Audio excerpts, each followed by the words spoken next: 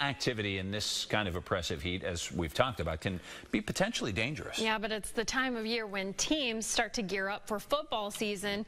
News Channel 3's Andrew Colgrove joins us with a live look from Milton at how coaches and trainers are mm -hmm. taking measures to keep student athletes safe while conditioning in these elements. Andrew. Hey, Sarah. Yeah, the Milton Middle School football team is holding outdoor conditioning drills this week. They are just getting started behind me here at the old high school. Other places like Chesapeake are holding their practices in the morning to try to avoid the worst of this heat. Forget the comfort of air conditioning. The heat's been uh, it's been hot out. Mid-July, we're still hearing complaints about people setting off leftover fireworks. But as far as these student athletes are concerned, it's already football season. I just can't wait for it. One, two, three, High school camps are underway.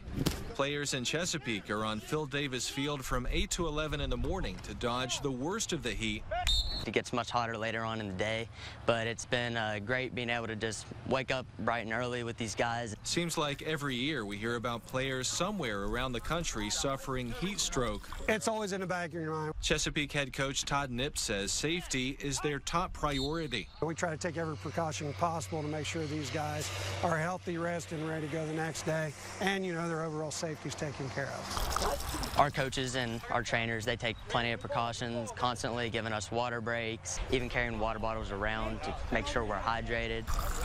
Even the trainer's arm may be sore later, staying busy, helping keep the kids hydrated. We're always talking about hydration, making sure everybody's drinking water, because the last thing we need is somebody out here getting dehydrated and uh, having a bad health situation.